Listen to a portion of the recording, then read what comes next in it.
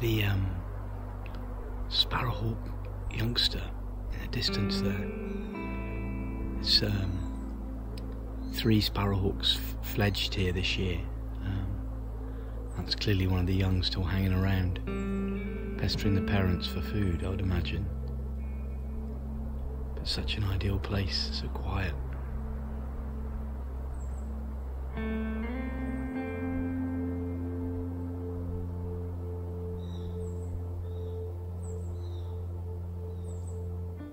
So I'm currently out this morning, really early.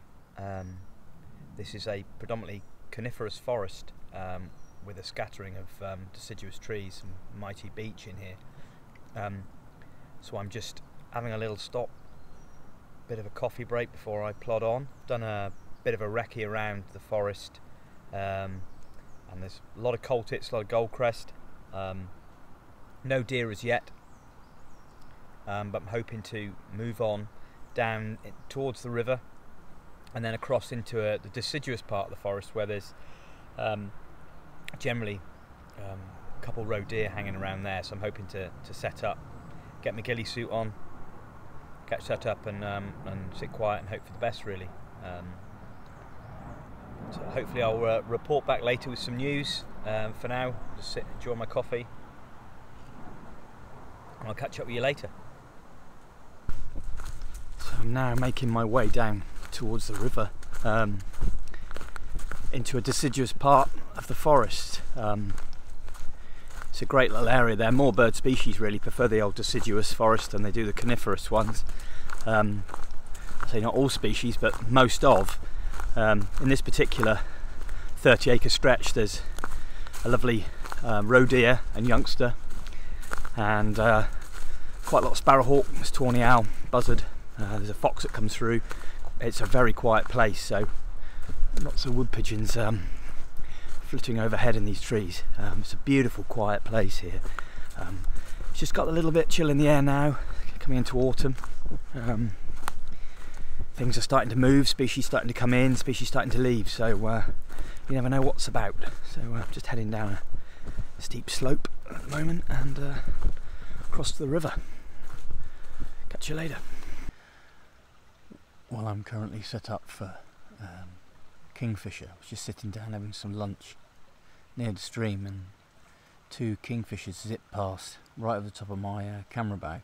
So uh, I've now left the uh, left the forest, come down by the river. I'm going to give uh, the kingfisher a, a, go. I've just put a new branch just across the river there, in a prime position, hoping the kingfisher will land on it, um, giving me plenty of space the focus point on the top of the uh, frame allowing for plenty of drop if in case it dives in the water and uh, gives it a bit of room um, rapidly fire off some frames. So it's hoping though but uh, there's probably very little chance it's going to come in and land. But um, can but try and it's lovely down here by the river. Uh, so peaceful. Apart from an aircraft going overhead.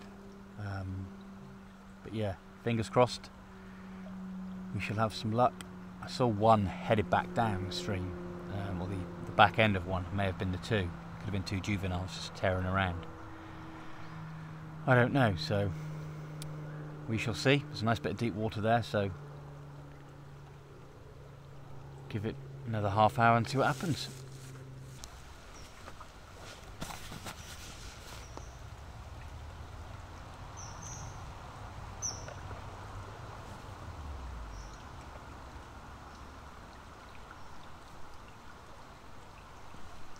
I don't know if you just heard that, but Kingfisher just went straight past. Very high pitched piping call goes straight through the river. Went right past me.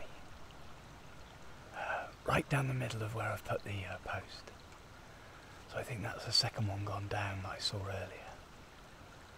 Um, let's hope they double back and uh, come on my perch, hopefully. God, the heart was something then. I heard it coming from quite way up the river. Um, what a shame it didn't stop. Never mind.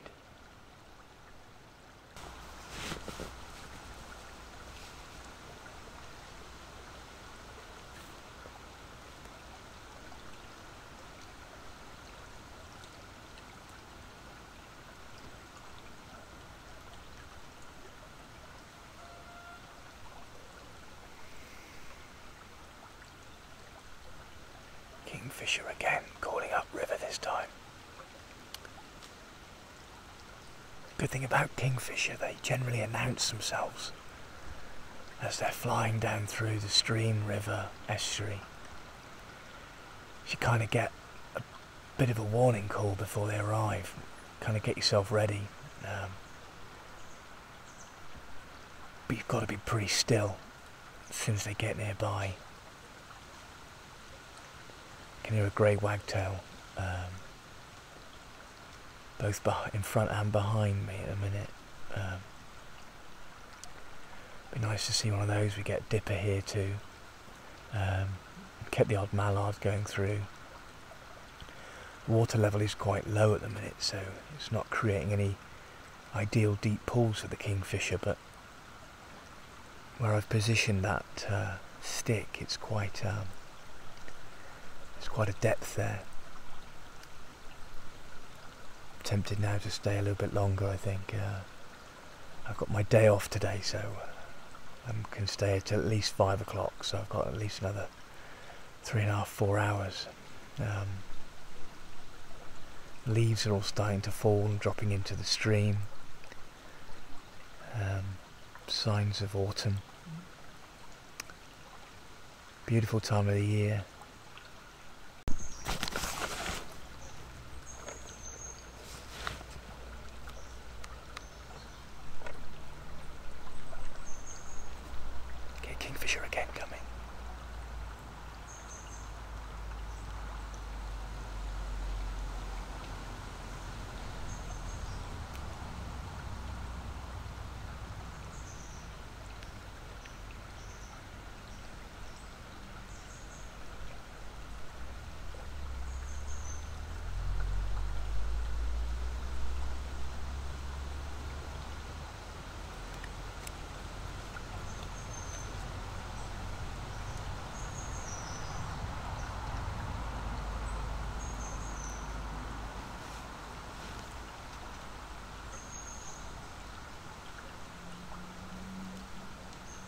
There's a grey wagtail up there as well. Heart's thumping. Come on, Kingfisher.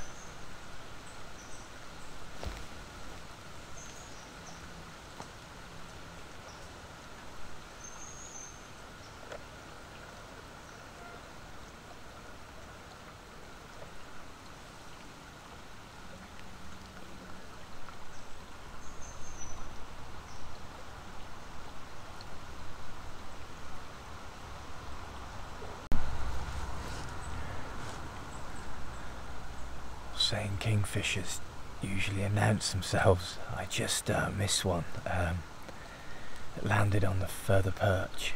Um, it came so quick round the corner. I thought for a minute it was a robin, um, but it was a kingfisher that looked like it'd just been in the water. So it was soaking wet. Um, I put my head down slowly to get down behind the viewfinder and uh, time I trained the lens just around a little, uh, it had gone. Um, whether that was me moving my head or it just flew off, I don't know. Um, it landed on the perch with the shallow water, so maybe that was it, I don't know. But it'd gone, I didn't even know which direction it went in, so uh, yeah. Learning tip for me today, they don't always announce themselves. Um, but thankfully most of the time they do.